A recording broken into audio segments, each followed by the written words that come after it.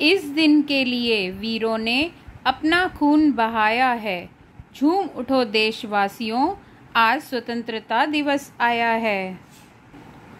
आप सभी को मेरा नमस्कार।